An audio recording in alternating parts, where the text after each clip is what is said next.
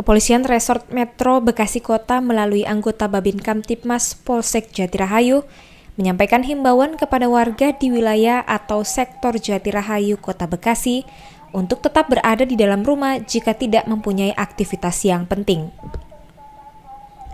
Dengan menggunakan satu buah alat pengeras suara yang ditempatkan pada kap mobil, diharapkan warga masyarakat dapat mendengarnya dan dapat mematuhinya untuk keselamatan bersama. Diharapkan untuk tetap tenang berada di dalam rumah, mengurangi aktivitas atau kegiatan di luar rumah, hindari keramaian, hindari berkumpul dengan orang banyak, jaga anak-anak untuk tetap berada di dalam belajar dan beraktivitas di dalam rumah.